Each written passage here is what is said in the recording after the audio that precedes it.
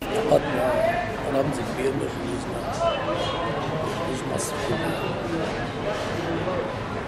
هو إنسان محترم عمره ما زعل حد ولا عمره جرح حد كان مثل وقدوة لينا كلنا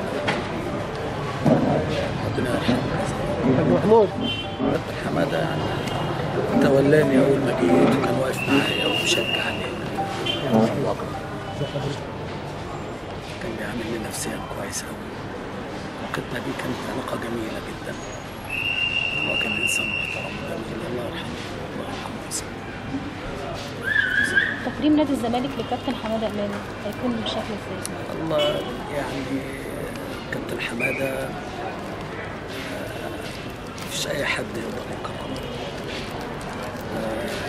آه، قيمته كبيرة جدا آه، في- مصر كلها مش نادي الزمالك بس. حمادة المفروض الدولة هي اللي تكرم مش نادي الزمالك بس. آه، لأنه قيمة قيمة كبيرة جدا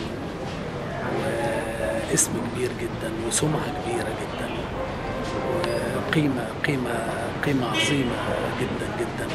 دولة اللي هي اللي تكرم آه، لأن ده مقام الكابتن حمادة. يعني يعني. إحنا الشغل دي علينا كلنا يعني الله يرحمه يعني كل الناس دي كلنا بقينا زملكاويه عشان حمادة. يعني بقول الحمد لله والشكر لله طبعا بقاء لله ونعزي أنفسنا ونعزي كل أسرة الرياضة المصرية. في الشك طبعا فراق كابتن حمادة صعب جدا. كابتن حمادة كان بالنسبة لي أب. اللي استقبلني أول ما دخلت نادي الزمالك هو اللي هو اللي اختارني يعني ان أكون ضمن لعيبه نادي الزمالك. آه، شيء صعب طبعا. امبارح كان عندي ماتش وعرفت الخبر قبل المباراه على طول. فعلت جدا. لكن دي سنة الحياة. الموت هو الحقيقة الوحيدة اللي في حياتنا. بنعزي نفسنا وبنعزي كل أسرة الرياضة وبنعزي حازم وأشرف دكتورة ماجي. كل الناس كابتن حمادة يعني كان من الشخصيات المحترمة جدا. ما زعلش حد. حدش في حد ما اعتقدش في حد زعل منه. كابتن حمادة ما اعتقدش في حد زعل منه في حياته. ولا ولا هيزعل منه في ماته. أكيد. ربنا يرحمه.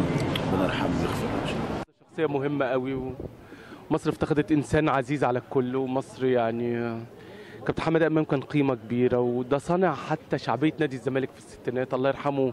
كان حاجة مهمة قوي عندنا و... الله يرحمه يعني أعتقد يعني ربنا يصبر كل الناس. إنسان اشتهر بأخلاقه وبحب الناس ليه. ما غلطش في حد. عمرك شفتي إنسان ما زعلش حد؟ قليلة قوي. ما غلطش في حد. الله يرحمه. الله يرحمه كان نموذج لكلمة رياضي. الله يرحمه.